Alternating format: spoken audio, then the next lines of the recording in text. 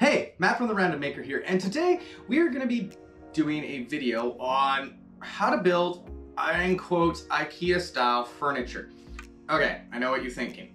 Isn't IKEA cheap, easy to build furniture? Yeah, that's actually the whole point. Now, what we're going to be building is computer monitor riser because in all honesty, I went to buy one because I was hating the height of my monitors and it was painful how expensive they were for the materials there. Um, I thought about it for a second, realized I had a bunch of MDF laying around. Yeah, so I decided, let's go with that. IKEA's furniture is all about efficient, clean, good looking. Also, the way they design it, it's on purpose because they flat pack it so it's easy to ship, easy to move because MDF stuff, when it's glued together, it's not the strongest stuff in compare if it's compared to a wooden counterpart. Now let's look at the materials they use. Now, IKEA's furniture is mainly made out of what is called MDF. MDF is sawdust pressed together with a bunch of glue to make a solid structure. And this is what IKEA actually mainly uses, and in your hardware store it's called melamine. And what melamine is, is MDF core with a layer that looks really nice. Like, look at that. Okay, this one's a little dirty because uh, it's from an old project. Um, and yeah, so it looks really good. Okay, if you anchor it into the edges there um, and glue it, it's very structurally sound because there's no wood grain or splitting really because it's just wood chunk and sawdust pressed together to make a board. And yeah, this product, awesome. Quite a bit more expensive than the MDF, but uh, we're gonna be using mainly MDF today because we're actually gonna paint ours. Um, because what you do have to do if you use this, you have to put a banding on it so you can actually buy like this white stuff and you just iron it on. It's got a bit of a glue and I didn't want to do that today. Um, I'm just trying to use scrap wood and some stuff laying around my shop so I didn't want to buy anything. So uh, we're actually gonna just paint it black to match my desk and uh, let's actually get moving on with this project. Okay, so here's our rough little design. Now, I know, you're probably like, Matt, that is an awful drawing. Yep, I can't draw to save my life with my hand. That's why I usually default to AutoCAD, stuff like that. But for simple projects like this, and this is mainly illustrative purposes, uh, forgot the corner is 11 there. Um, it's mainly for illustrative purposes, so what we're gonna be building. And so yeah, we're gonna have a nice little radius here. I'll show you a really cool trick how to draw those. This style building is, because this is all the way it's gonna be down, I'm not gonna attach on the side. I'm gonna put the screws right through the top and yeah, it's really uh, such a simple build that I love it. Um, but yeah, so I'm gonna cut some six inch pieces at these two minus three quarters of an inch because that's how thick the MDF is. Um, I'm gonna keep, I wanna keep the back as a full piece um, because that'll help it tie in. And yeah, so this is what we're gonna build. Super simple, super easy. Let's get moving.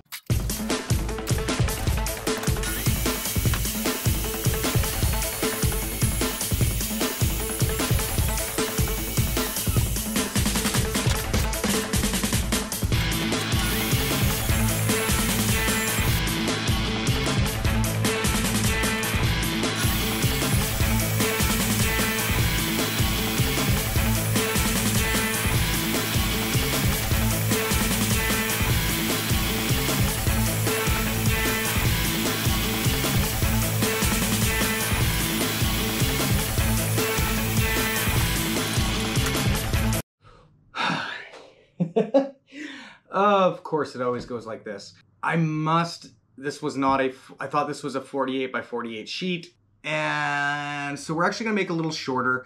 And just to make it the desk width, um, we're gonna put, we're actually gonna double up the ends and make it look one piece. Uh, not the greatest solution to the problem, but and I know some of you are gonna say waste of wood, but uh, in my case, this is all free. If I actually went and bought a whole piece, it wouldn't be free anymore. So uh, I don't know which way to go. I just thought I'd point that out. Okay, so we've got our piece of over wide wood, and so we're trying to make it look like this. So what I'm gonna do here, I'm just gonna run a dead straight line. So we've got our 11 inch piece, and I'm gonna run this eight and a half line right through it all the way. Then how about I just lay this out and show you as I actually go.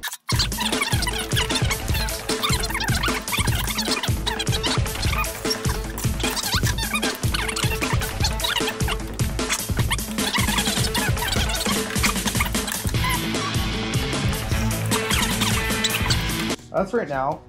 If we go like this, we've got this point right here.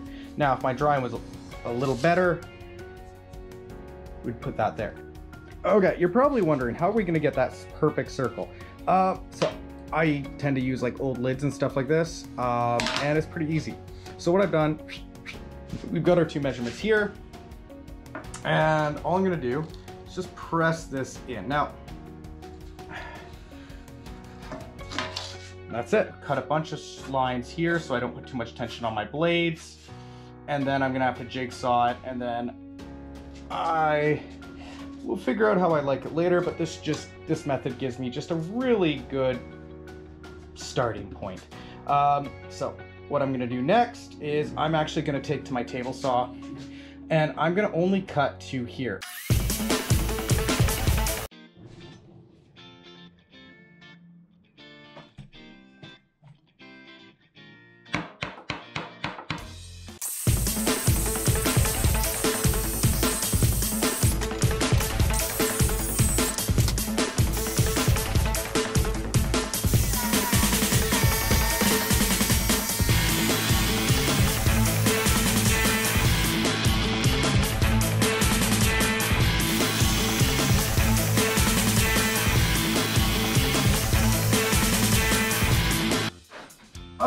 So at this point we have all of our pieces cut out.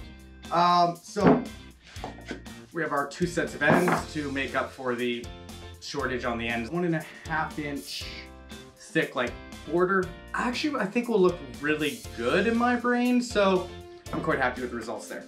Um, and then we have our backing plate. And we have our piece here that, yeah. Uh, what I'm gonna do here is I'm gonna get a squaring cloth and you'll understand why I'm gonna use it uh, to get everything in line. And it just, it works really well. Okay, so this is what happens when you have somebody who doesn't know what they're doing running a camera. I got in the way of the footage of me putting together the computerizer and it was just bad footage. So I'm just gonna do a quick little, here we go, so we can go through this. Okay, so I kept talking about a squaring cloth. This is squaring cloth. This is a proper name, but basically it is a clamp and it's got your four corners and you just tighten it a little bit here. And if the pieces of wood are the exact same and square, they will be square. Now, I wouldn't trust that because nobody can cut perfect, okay? So you always wanna double check with a square and you can always shift things around a little and also make sure that when you're nailing it together, you have this. You can also use um, clamps and other things, but I find this the easiest method for me because I can move things around with a speed square or a square. Um, all I would, all I did was I took some glue, took one piece out at a time to a degree, so I loosened it. I did one corner first because you're gonna get a little bit of flex.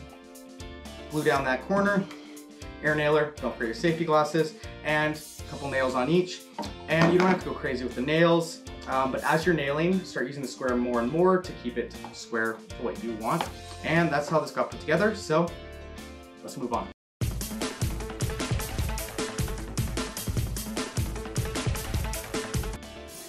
Okay, at this stage, as we can kind of see, uh, let me put this battery in here because that just looks horrible. What we're gonna do is we have glued absolutely everything around here and I just use, like I said before, uh, pin nails. We have a structure.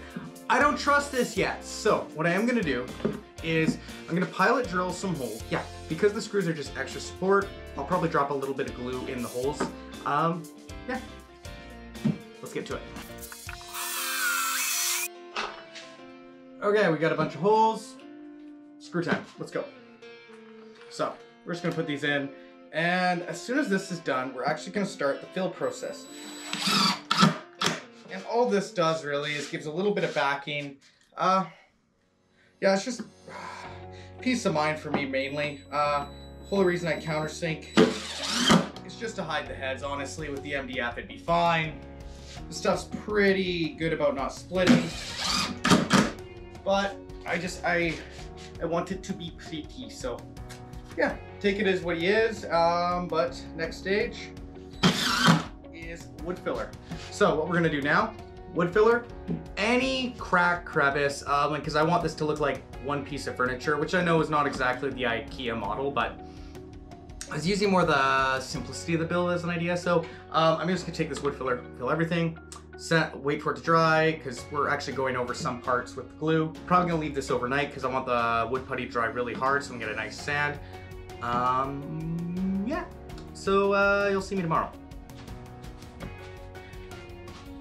Okay, so apparently the camera didn't turn on when I was doing a lot more of the putty work. So what I'm gonna just quickly show you here, as we can see, I'm already kind of done my first little layer and the quicksand and then I checked the footage and yeah.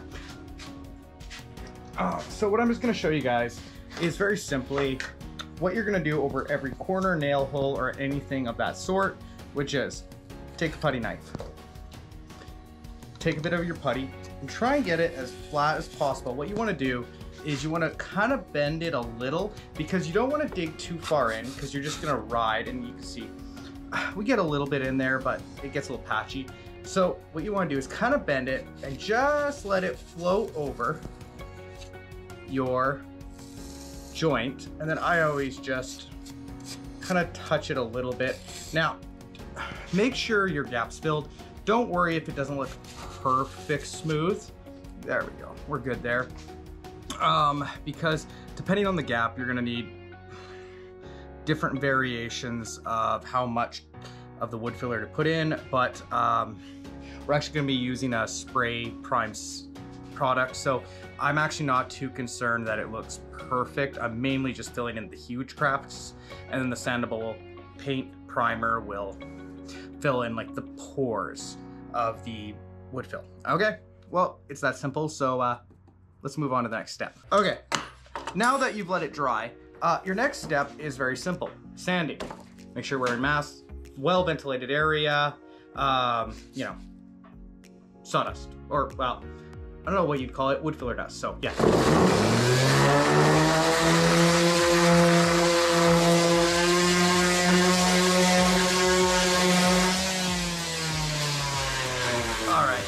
So as we can, see, okay, we can see here that looks really good for my purposes. Um, if you can see little pinholes and stuff, uh, I don't really care.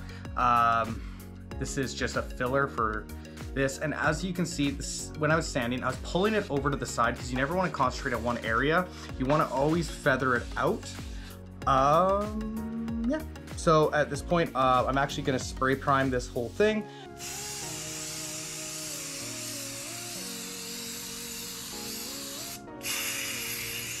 Okay, we can kind of see here now that the primer, nice and dry. I'm just gonna sand it next, and if there's any spots, this is a good point if you wanna fill any with wood filler. Like, the sandable primer fills in a lot, but it's mainly gaps. So any gouges, and sometimes what I found with MDF, like, um, you'll miss stuff just because it looks the same. So I like to use white primer maybe a little earlier than some people so that I can see any discrepancies. Okay, I'm gonna get past sanding this. Boom. Matt here. Um, I also forgot to mention in this clip that we are to switch over as soon as it's primed and sanded and pretty to the final black coat of paint, which you're going to see now.